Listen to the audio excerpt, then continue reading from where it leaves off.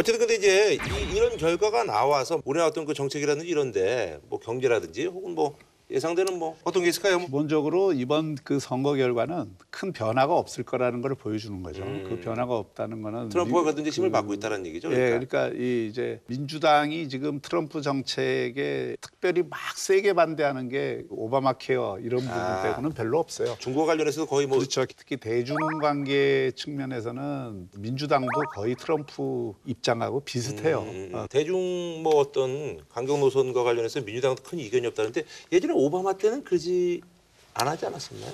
그러니까 지금 미국이 쓰고 있는 중국을 강력히 네. 견제를 지금 하지 않으면 안 된다라고 음. 하는 입장은 미국의 지식인 사회 또는 정치권 전체의 일반적인 인식이에요. 시기상의 문제였었던 예, 거예요. 그런데 이제 전략을 강하게 쓰느냐 약하게 음. 쓰느냐 트럼프 대통령은 굉장히 그거를 강하게 음. 에, 이니셔티브를 치고 하는 거고 오바마 대통령은 그 스타일상 굉장히 부드럽게 그 정책을 쓰는 음, 그러니까 거죠. 예. 어, 그것도 이제 조금 다르게 봐야 될 게 뭐냐면 오바마 때는 네. 처음에 2008년에 집권했잖아요. 그때는 뭐가 문제였냐면 석유가 최대가 에너지 문제가 제일 큰 거였어요. 음. 그러니까 세일 혁명이 터지기 전이에요. 음. 세일 오일이 나오기 전이라 아하. 중동에 집중할 수밖에 없는 아. 상황이었단 말이에요. 네. 근데 이게 에너지 문제가 딱 해결되고 나서 중동에서부터 좀 벗어나서 독립이 되니까 이제는 중국하고 아, 그래서 문제를 그때 시작한 한미일. 동맹을 다시 뭐 그렇죠. 굳건하게 한다. 아, 문제는 이제 북한인데요.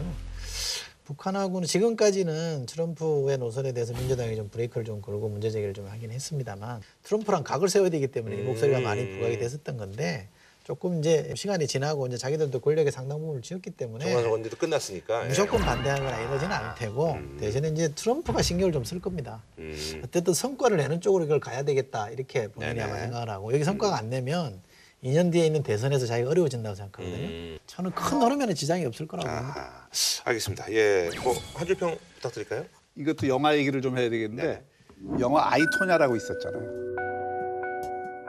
거기 보면 대사가 이런 게 나와요. 미국 사람들은 사랑할 사람도 원하고 미워할 사람도 필요로 한다 음. 이런 얘기가 있는데 이번 선거를 딱 보면은 미국 사람들이 사랑할 사람과 미워할 사람을 딱 갈라놓은 것 같아요. 우리가 좀 너무 미국을 많이 따라가고 있거든요. 그 후쿠야마 교수라는 분이 미국 정치를 얘기할 때 비토크라시라는 말을 씁니다.